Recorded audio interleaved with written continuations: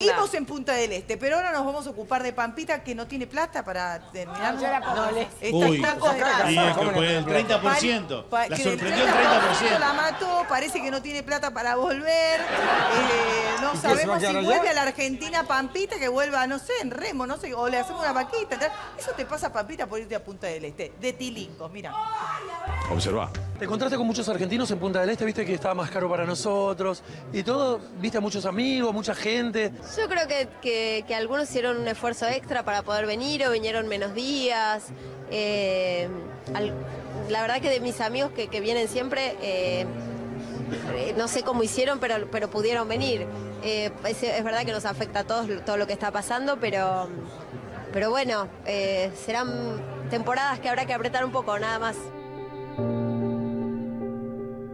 El otro día Susana dijo, hay que plantar, hay que tener gallinas en el gallinero y generó la polémica, viste que Susana habla y todo el mundo sale a decir cosas. Lo mismo pasa con vos.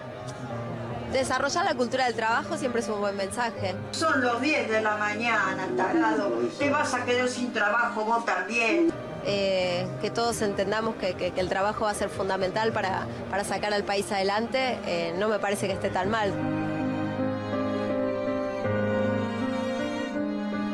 Un saludo para los argentinos, puede ser. Más unidos que nunca y tiremos todos para el mismo lado, eh, deseemos lo, lo mejor a nuestro país y aferrémonos a las cosas simples y miremos la vida con, con mirada positiva y buena energía y, y nada, somos un país que puede con todo, lo hemos pasado tantas veces que, que siempre vamos a tener la esperanza ahí.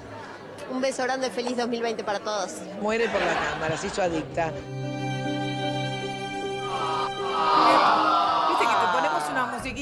Fondo y decimos, me emociona todo el esfuerzo que están haciendo todos los argentinos que tuvieron que Para ajustarse llegar a un Punta del poquitito. Este. Y bueno, llegaron, llegaron a Punta del Este, chicos. Se van a tener que quedar menos días, dijo pobre. No. Ay, no sabe cómo hizo para llegar. Pobre. Cambiaron dólares, loco. ¿Qué van a hacer? ¿Qué? Seis de cada diez chicos en Argentina no tienen para comer y Pampita sensibilizada con los argentinos que no tienen para gastar en Punta del Este. Sí, Vos bueno, también sos mirado de esa Mecha. manera, Mercedes. Bueno, la cultura del esfuerzo es Sí. para ir a Punta del Este. Bueno, pero también está la cultura de Estamos la no hablando de resentido, sí, chicos. Pero perdón, sí. ¿Ok? ¿Qué duda te cabe? Acá estamos. Acá estamos, Pero un perdón. grupo de resentidos, sí. También está la cultura de la no hipocresía. Si vos estás en Punta del Este en una fiesta con un vestido de 10 mil dólares y vienen y te preguntan por el país cómo está, decir, mira, la verdad que en estas circunstancias no corresponde hablar de estos temas. Pregúntamelo mañana. ¿Cómo no se ocurrió? es bueno. Igual, perdón, ¿no? Sí. Digo yo. Sí, decime. La mina se mata laburando. No Sí, puede ir, pasarla bien, No, ella dice que- por lo que se le cante. Perfectamente. Sí, no, nadie espera una sensibilidad social. No, lo que no espera es no. que llore. No, ella eso, llora. es lo, eso es lo raro. A ver, nadie se lo discute. Si hay alguien que se merece todo por lo laburante que es, es Pampita, pero que decir, no, no pega que llores luego diciendo, bueno, me quedaré menos días en Punta del Este. No queda, no queda, chicos, no queda. Ella no ¿viste ella, algo sí. o viniste a calentar la silla hoy? No, me parece que no habló tan mal. Le pusieron una música de fondo y armaron un informe del que no hay. No hay informe. Ay, mira. Es nuestro talento. Me parece que te van a sacar de la sigrilla. ¿eh? No, estás canchero. No me Cartaña vendo. Está... Sí. No me importa. Ahora que están todos los afiches en el centro, Eh, total, cartonea en cámara en todos los programas, lo llaman de todos lados.